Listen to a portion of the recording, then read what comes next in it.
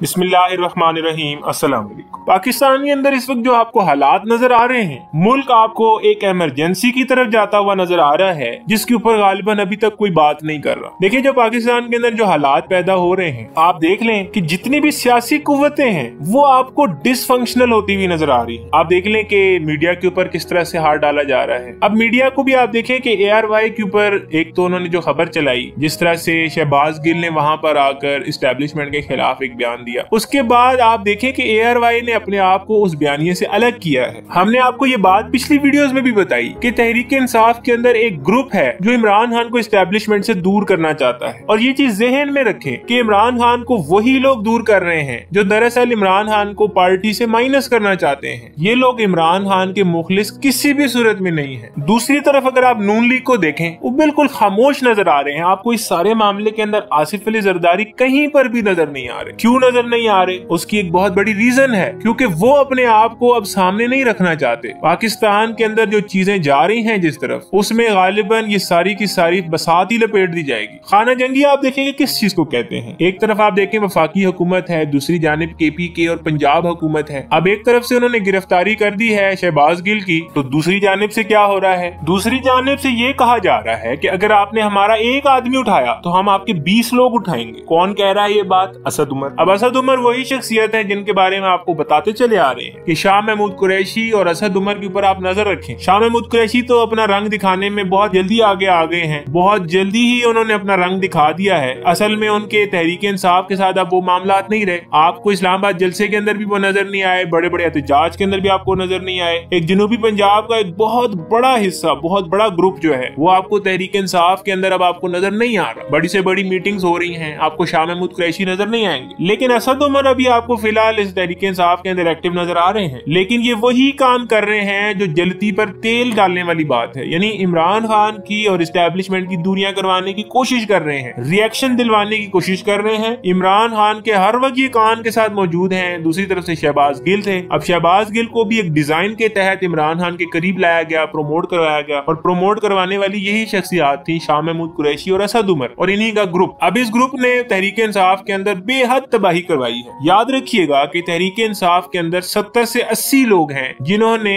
इब्तदाई तौर पर तहरीक इंसाफ से जाना था, जिसमें से तकरीबन 25 से 30 के करीब वो लोग हैं जो सामने आ चुके हैं, जो कई तो पार्टी से अलग भी हो चुके हैं, लेकिन अभी बहुत से ऐसी शख्सियात है जो अभी भी पार्टी के अंदर मौजूद है। आप जानते हैं की जब ये इमरान खान को हुकूमत से हटाया गया था तो शाह महमूद कुरैशी ने पीपल्स पार्टी और नून लीग के साथ रबते शुरू कर दिए थे। उनकी जो शख्सियात है, उनके पास इनकी कॉल रिकॉर्डिंग मौजूद है कि किस तरह से ये उनसे मिन्नतें कर रहे थे कि मुझे टिकट दिया जाए ताकि मैं नून लीग में शमूलियत इख्तियार करूँ या पीपल्स पार्टी में चला जाऊँ। लेकिन फिर जब पब्लिक की सपोर्ट सामने आई तो उनको वो फैसला वक्ती तौर पर रोकना पड़ा। अब आप देखें कि शाह महमूद कुरैशी जो प्रेस कॉन्फ्रेंसिस कर रहे हैं, वो इमरान खान के साथ बैठ कर नहीं कर रहे। आपको कहीं पर भी इमरान खान के साथ वो नज़र ही नहीं आ रहे। अगर वो कहीं पर आपको तहरीक इंसाफ की रहनुमाओं के साथ नज़र भी आएँगे तो बहुत ही शाजो नादर। ऐसा क्यों है? क्योंकि इमरान खान को भी इस बात का इल्म हो चुका है की शाह महमूद कुरैशी असल में डबल गेम कर रहे हैं। ऐसा नहीं है की इमरान खान को इन शख्सियात का इल्म नहीं है। फैसल वोडा ने जो टीवी के ऊपर आकर गुफ्तगु की है दो दिन पहले, आप उसके अंदर देख लें कि उन्होंने किस कदर सख्त ज़ुबान इस्तेमाल की है। उनका कहना यह है कि हम इमरान खान की वजह से चुप हैं, उनकी हिदायत की वजह से चुप है। वरना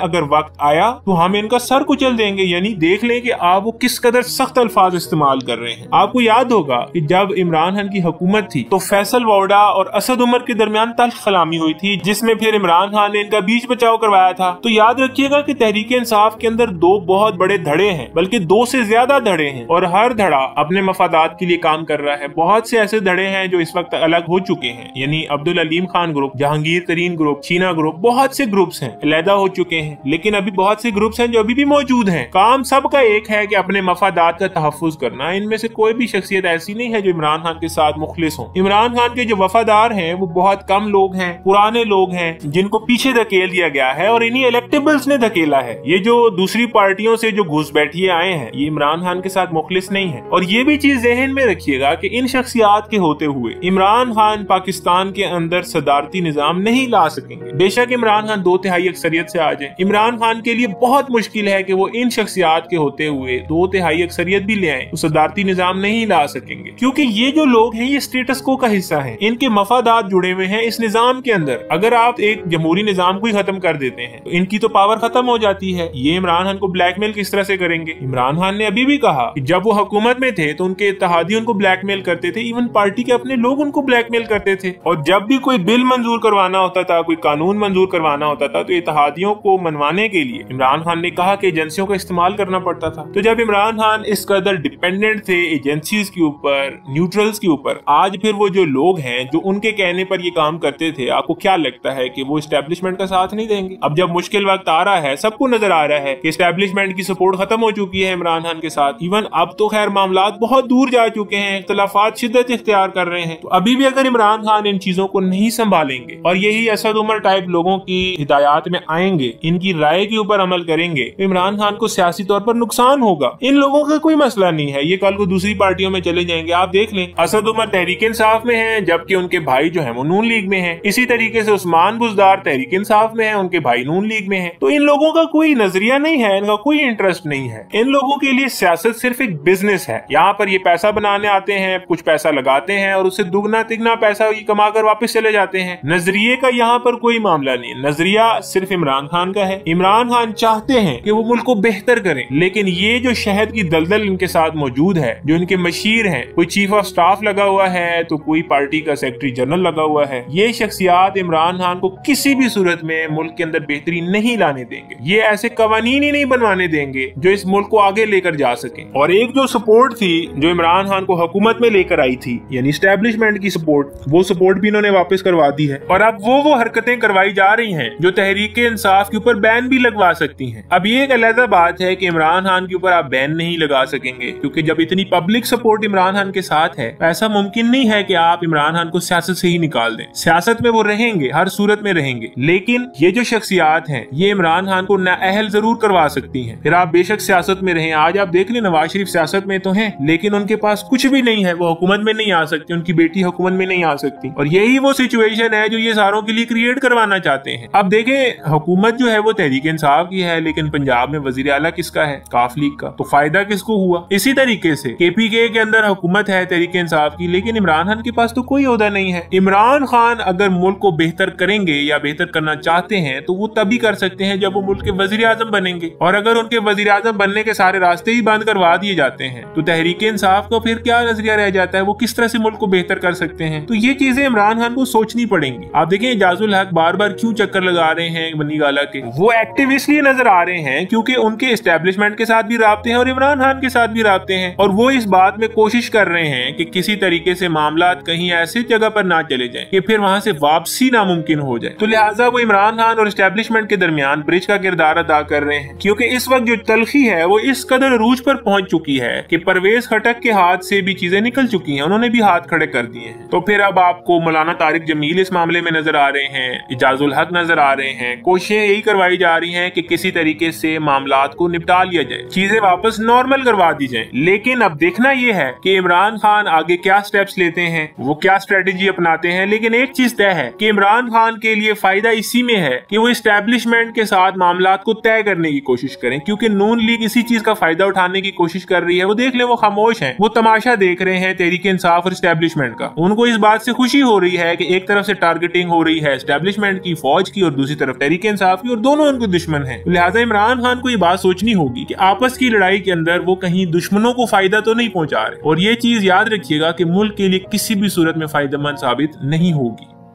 वीडियो के आखिर में रंगीन टीवी को सब्सक्राइब करना मत भूलें। वीडियो को लाइक करें, शेयर करें और कमेंट्स पैनल में हमें अपने कमेंट्स से ज़रूर अपडेट रखें।